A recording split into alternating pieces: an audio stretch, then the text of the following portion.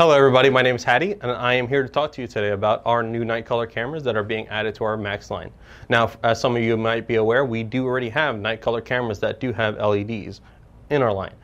But not everybody wants them because they're a little bit higher on the price point. So what we did is we reduced some of the features on those cameras and brought out three new models. We have the turret, we have the bullet, and your traditional dome as well. On the turret, we have LEDs, same thing on the bullet, but the dome does not have any LEDs at all. However, since it's meant to see color at night, it is not needed to have LED or IR technically. You can turn them off. Now, the turret also has our easy quick mount. Mount this plate to your wall or wherever you're going to mount the camera, junction box, junction plate, and then you just kind of put it there and slide it, and now it's attached to it. If you need to take it off the wall for servicing, just pull the little tab and it comes right off the wall. It's as easy as that.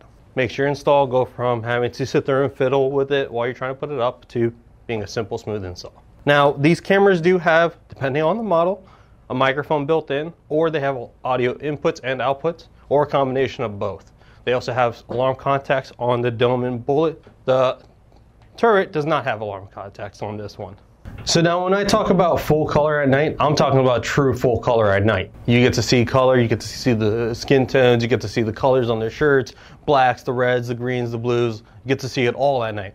In a moment, we're going to show the camera feed with the lights on so you can see what it looks like. We're going to show you the camera feed when we turn off the lobby lights, and then the lights will come on on the camera, and then we're going to turn off the lights on the cameras themselves. That way you can see how it works in all three different scenarios. Before we actually show you guys the video footage of the lights being turned on and off in the different scenarios, what we're going to do is show you how to actually turn them off yourself in case if you don't want the lights on for these cameras. You're going to go to the web browser, you're going to put in your credentials to log in. Default user is admin and whatever password you set. Once you log in, click settings at the top. Then you're going to be on the camera condition settings. Towards the right hand side, you're going to see illumination as an option. And in there, instead of setting it to auto, you can switch it to off or manual so you can manual adjust it. So real quick, we're gonna go ahead and start off. The lobby lights are on right now. The LEDs of the camera are actually off. And we actually have two volunteers for this video that decided to help us out. And they're in Halloween spirits. It is almost October 31st in a couple days. So here we go.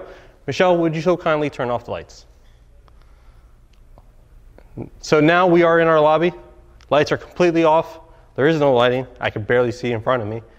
And the camera's LEDs are currently turned off, but you can still see me. You can still see our value props here on the side, our volunteers helping out. You can see the oranges. You can even see a little bit, probably the orange uh, pumpkin on the side wall over here as well.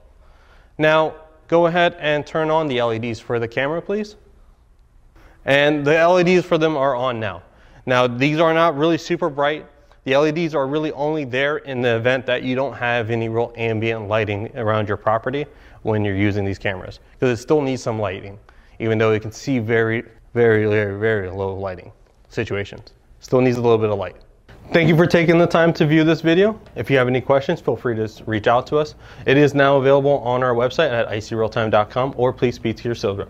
If you're liking these videos, please click on our subscribe button to follow us for some more videos and also give us a thumbs up. And if you didn't like it, please go ahead and feel free to write a comment so we can know how to make it better.